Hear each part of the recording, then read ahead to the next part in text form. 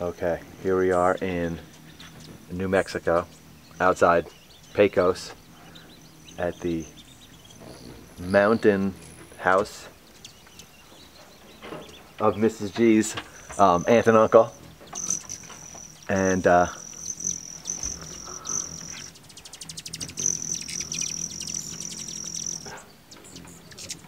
while this is a nice view, we're gonna go inside and look at some boiling water. Here we go.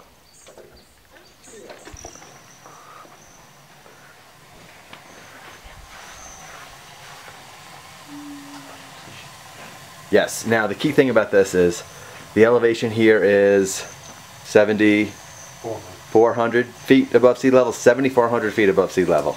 That's a lot. And I have this boiling pot of water on the stove. Actually, see if I could change the focus here.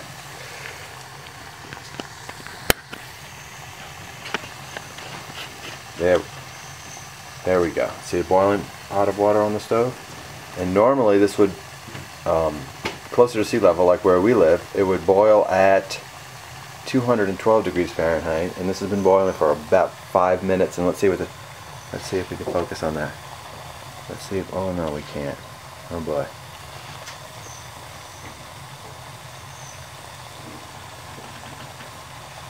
Oh boy. Wait, let's get the focus on that. That is 198 degrees.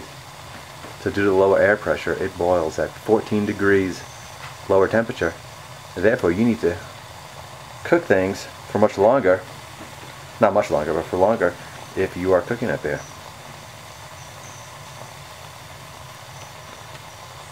Pretty cool. Yeah, pretty hot.